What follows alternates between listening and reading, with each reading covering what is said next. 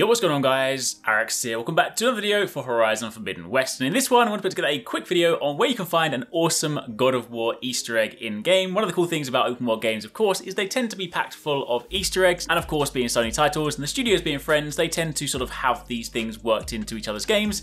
And in Horizon Forbidden West, there is a pretty cool God of War Easter egg that allows you to unlock a face paint. So if you guys want to know how to do that, then in this video, I'm going to go over all those details. Of course, if you don't, then by all means, step away and you can work it out yourself. But if you do want to know, then uh, we got you covered. If you guys find this helpful, a like would be super appreciated. Let me know in the comments down below if you guys have dived into the game, how you're enjoying Horizon. But let's not waste any time. First things first, in order to do this, you're going to need to go and find a selection of three different totems. The first one, if you go over to where you see the flag on the map right now, so over the sort of like left portion of the map, over there is where you want to head. And what basically happens is when you get to the area, there will be some sort of God of War related item that you need to scan. And this will then give you something you can track using your focus to lead you to the totem. So in this situation, of course, there is an axe in the tree, an iconic moment from God of War, which I love. That game is fantastic. Cannot wait for God of War Ragnarok this year. It's going to be awesome. But anyway, scan the axe, follow the footsteps, of course, and you can then climb up the cliff.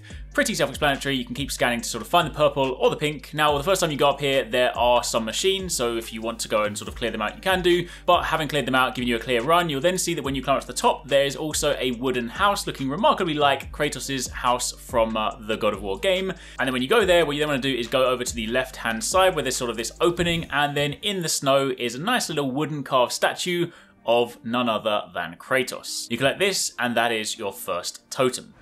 The carved figure. Looks like some kind of war god.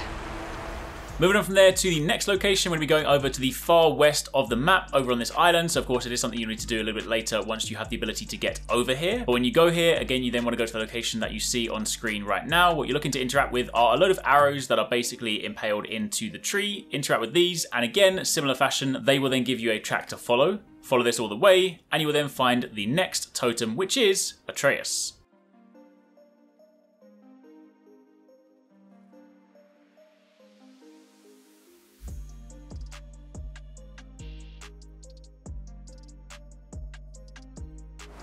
Some kind of carved figure.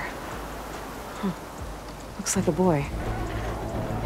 Finally, for the last one, we are over in the more sort of southeastern area of the map. Again, at the location that you see marked right now. You'll then walk over and see a slain machine, and you will see that there is a hammer impaled in the face, which is looking pretty brutal. Again, examine that, follow the track, and you'll go all the way over to this broken rock, and you'll see inside there, there are the brothers, the crafters, and if you then go and interact with these, assuming you have all three sets of totems, you will then, upon picking it up, unlock the Mark of War face paint. You can then apply this, you can then put this on Aloy, and it actually looks super cool because it has been done as a face paint, so it actually looks quite uh, fitting for the game. Honestly, I think it's really, really cool. There are plenty of uh, face paints you can get in the game, but this one looks fantastic, and not forgetting that the game has an incredible photo mode, so if you want to get some nice up-close shots, you can see this is what it looks like. But there you have it, quick little guide on where to find the God of War Easter egg and unlock that awesome face paint. Hope you guys found this useful. If you're diving into Horizon Forbidden West for the first time and you want a few starter tips, be sure to check out this beginner's guide and be sure to keep it locked. We've got plenty more stuff coming your way.